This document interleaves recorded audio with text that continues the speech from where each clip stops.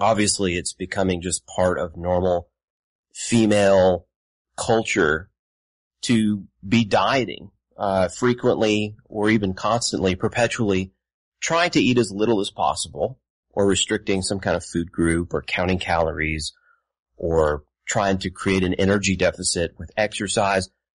So many people are constantly at war trying to create this conscious calorie deficit, this calorie debt somehow with exercise or with diet.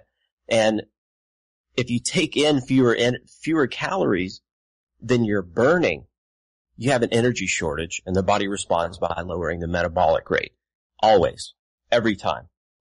There is, there is no scenario in which you can create a calorie deficit and not also lower your metabolic rate. I, I don't, I don't believe it's possible. Yeah. Um, yeah. So, so, as we try and make our bodies thinner, our, our hair can kind of get thinner in, in addition, which was an unintended side effect. You know, you try and look better with your diet and all these things that we do for our health, but they really seem like they have some bad overall side effects to um, our appearance and um, and just other health markers that that we have.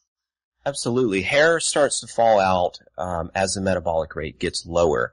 Now, it's a common, very well known side effect of having hypothyroidism or a low metabolic rate. It's a very well known symptom, very common symptom is to have hair loss. Now, that doesn't mean that everybody who diets or lowers their metabolic rate is going to have their hair fall out. That's not true. It's just that the susceptibility to having your hair fall out and thin out is going to increase. The, the probability is going to increase as you diet down and lower your metabolic rate. And, and we know with um, gastric bypass patients, we know with people who've undergone uh, really extreme diets, uh, 500 calories a day, 700 calories a day, you know, HCG and some of the other trendy ones that recommend extremely low calorie consumption. I mean, there's just no question. It is so well known and understood and documented that this results in very high rates of hair loss, um, in, in both men and women.